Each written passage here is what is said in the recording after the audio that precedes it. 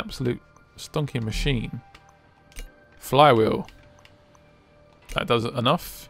Does it does it make the weight slightly bigger, I guess, but that's some decent cooling.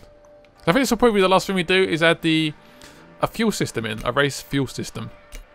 Uh, anything else we can have, perhaps, Lee? Um, manifold. We can do that one. Perfect. Absolute beast.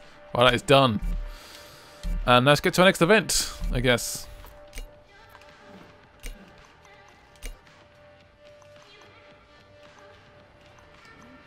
Oh, we can do... Oh, what's this?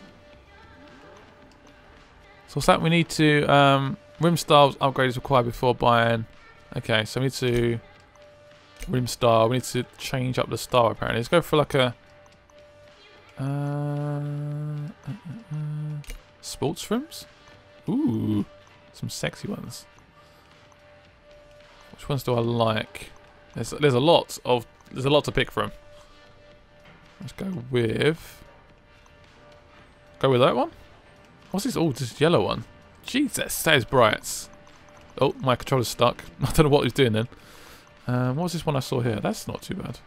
Oh, the black one looks so nice with the blue. I'm going with that. Perfect. I will take it. Makes it lighter as well. Yay! I should be able to make them wider. Can we do that? Oh, that looks sexy. That looks sexy. I like that.